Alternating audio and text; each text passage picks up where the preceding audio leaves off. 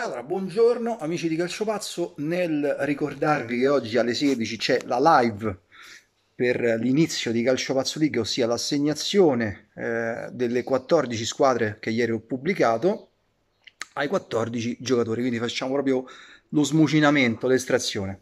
E quindi vi aspetto alle 16. Mo sicuramente quando inizierà la live ci sarà qualche ritardatario che casca dal pelo e dice no, ma pure io voglio partecipare a quel punto, siccome non possiamo più ammettere persone perché ormai i calendari sono usciti, quello che possiamo fare è eh, creare una seconda lega, una lega di serie B, per cui le persone che arrivano, se sono di un numero cospicuo, tipo almeno 10, almeno 10, facciamo una lega di B e poi chiaramente pubblicheremo anche il calendario della lega del B.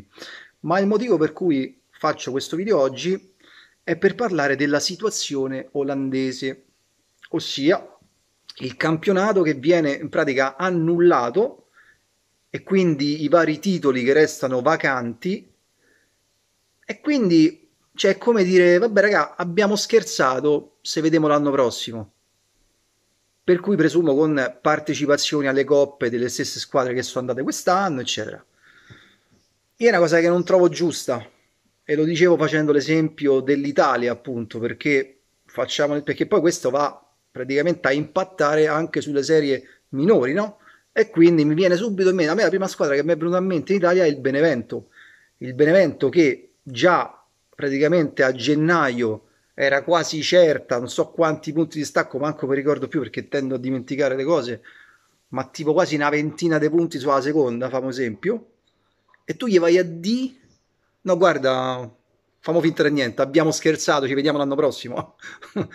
e tu pensi che i tifosi non vanno in analisi, quelli diciamo un po' più deboli, gli altri ti mettono a ferro e fuoco la città, per cui non lo so, eh, io avrei adottato allora un altro sistema, perché poi comunque siamo a più, un po' più della metà del campionato, no? Perché il giro de Boa era a gennaio, mi pare quando è che l'abbiamo sospeso? A febbraio, non mi ricordo, insomma, poi ogni paese l'ha sospeso a una data sua, però diciamo era leggermente più della metà del campionato, già buono secondo me per assegnare tutti i posti che ci stanno da assegnare, il titolo, le partecipazioni alle coppe, le promozioni e le retrocessioni.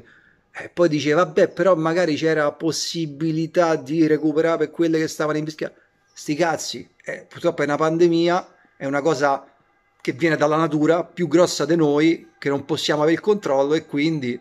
Eh, chi diciamo non è stato in grado fino adesso di fare un buon campionato sa piangere il culo. Questo era l'unico modo secondo me di ragionare. Oppure come stiamo facendo in Italia attendere. Lì però pure attendere insomma bisogna vedere fino a quando si attenderà eh, perché poi scavalla tutto.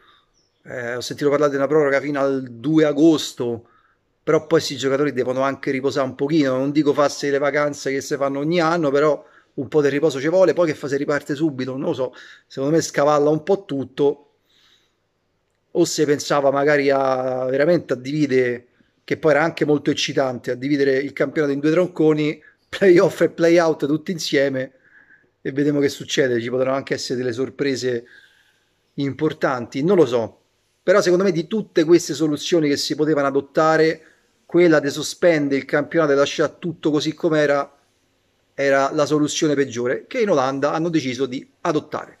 E volevo anche sapere il vostro pensiero in merito, ma prima vi ricordo di iscrivervi al canale di Calciopazzo che anche ieri sera, dopo il video che ho fatto ieri, ha perso un altro iscritto, per cui coerentemente, come avviene dall'inizio pandemia, ogni giorno sto perdendo almeno un iscritto, se non due.